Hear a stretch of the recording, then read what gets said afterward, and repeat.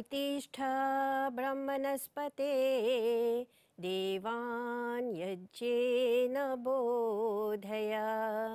आयुः प्राणं प्रजां पशुं कीर्तिं यजमानं च वर्धय। ॐ शान्ति शान्ति, शान्तिः। देवियों, सज्जनों, प्यारे बच्चों। सादर सप्रेम नमस्ते। अमृत वाणी कार्यक्रम में हम आप सभी जनों का हार्दिक स्वागत करते हैं। दर्शकगण, सत्रह फरवरी से फाल्गुन मास प्रारंभ हो रहा है और फाल्गुन मास का आर्य जगत में एक विशेष महत्व है, क्योंकि इसके पीछे कई कारण हैं। सर्वप्रथम महर्षि स्वामी दयानंद जी का जन्म फाल्गुन मास अर्थात फाल्गुन बदी दशमी तिथि को हुआ था। बालक मूल शंकर को फाल्गुन बदी त्रयोदशी को बोध हुआ था और संस्कारों का अमर ग्रंथ, संस्कार विधि का नया संस्करण भी फाल्गुन बदी त्रयोदशी को प्रकाशित हुआ था। यही नहीं, अमर बलिदानी गुरुकुल शिक्षा के संस्थापक स्वामी श्रद्धानंद जी का जन्म भी इसी महीने में हुआ था। इसीलिए फाल्गुन मास को दयानंद मास कहते हैं। आज हमारे बीच स्वामी दयानंद जी नहीं रहे ना ही स्वामी श्रद्धानंद जी जीवित हैं, फिर भी उनके जीवन से, उनके अच्छे कर्मों से, उनके प्रवचन और लेखन से आज भी करोड़ों लोग प्रेरणा पाकर वेद के मार्ग पर, धर्म के पथ पर अग्रसर हो रहे हैं, चल रहे हैं। इसलिए आज हम महर्षि स्वामी दयानंद जी के जीवन पर प्रकाश डालना चाहते हैं। जहाँ स्वामी दयानंद जी महाराज हज़ारों वर्षों से भटक रहे आर्य संतानों को सही मार्ग दिखलाए और वेदों के परिचय कराए, वहीं पर स्वामी श्रद्धानंद जी महाराज ने अपने गुरुदेव महर्षि स्वामी दयानंद जी महाराज के विचारों से प्रेरित होकर गुरुकुल की संस्थापना की और आर्ष पद्धति से वेदों का पठन पाठन की शिक्षा प्रारंभ की। फिर आगे चलकर हम देखते हैं कि गुरुकुल के ब्रह्मचारियों ने चारों वेदों का भाष्य तैयार करके दुनिया भर में वेद विद्या की ज्योति जगाई और फैला दी। हज़ारों वर्षों से वेदों की जो अशुद्ध व्याख्या, भाष्य हो रही थी और जिसको आधार बनाकर यूरोप के विद्वानों ने भी वेदों का गलत अनुवाद करते रहे, उन सब अनार्श ग्रंथों को महर्षि दयानंद और स्वामी श्रद्धानंद जी के शिष्यों ने भस्मसात कर डाले और विश्व भर के विद्वानों को यह स्वीकार करना ही पड़ा कि वेद ही सब सत्य विद्याओं का भंडार है। वेद कल्याणी वाणी है। वेद सत्य धर्म का मूल स्रोत है। वेद ज्ञान विज्ञान का विशाल सागर है। वेद विद्या ही स्वस्ति, शांति और मुक्ति का मार्ग है। जिन लोगों को शांति की तलाश है, उन्हें वेदों की ओर पुनः लौटना चाहिए। वेद ज्ञान रूपी अमृत का पान करना चाहिए।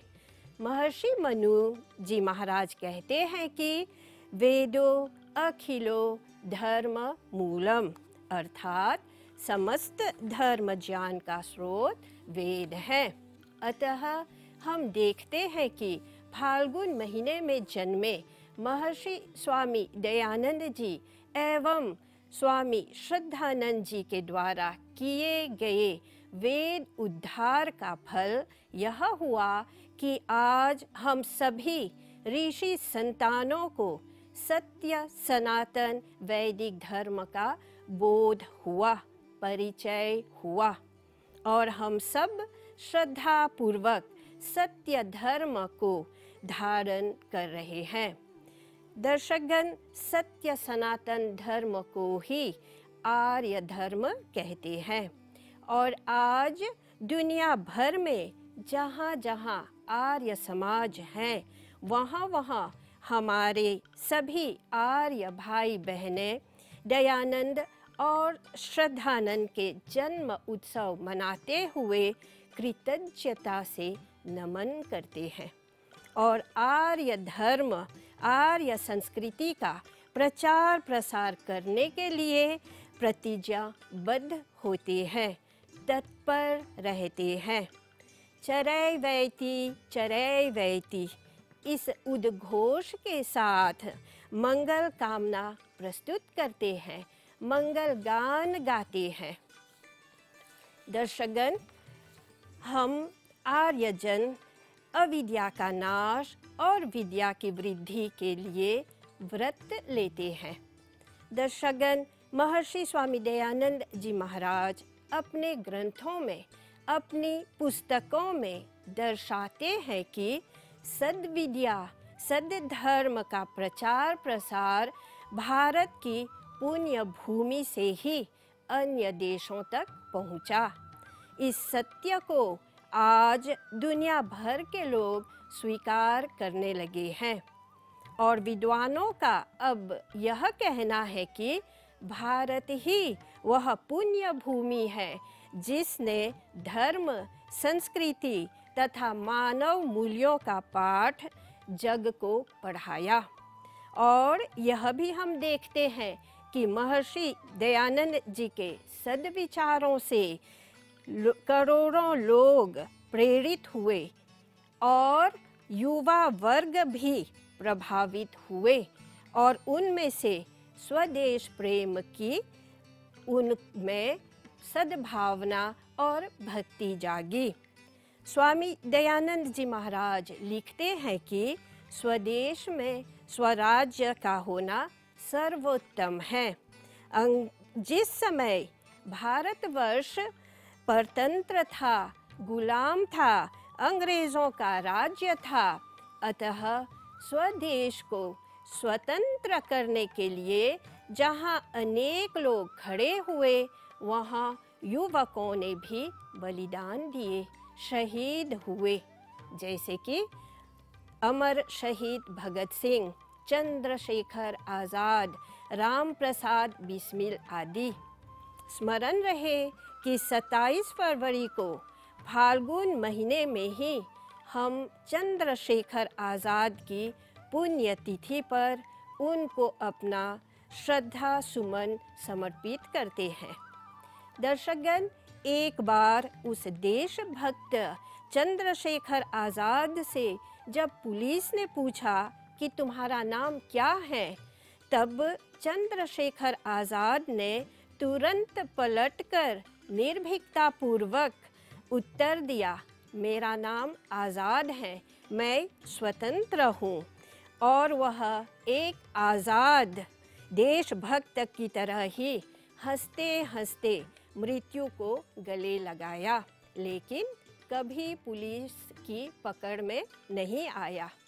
धन्य है महर्षि स्वामी दयानंद जी महाराज, जिन्होंने अपनी शिक्षाओं से सबको सत्य के पुजारी और शेर दिल वाले बना दिए। क्योंकि महर्षि स्वामी दयानंद जी महाराज खुद ही एक शेर थे। ए स्वामी दयानंद, तूने कर दिया कमाल। मुर्दा थी मेरी कौम, तूने प्राण दिए दाल। ए स्वामी दयानंद, तूने कर दिया कमाल। मुर्दा थी मेरी कौम, तूने प्राण दिए दाल। ए स्वामी, दयानंद तूने। ए स्वामी, दयानंद तूने। ध्यान के लिए धन्यवाद। ओम शांतिश शांतिश, शांति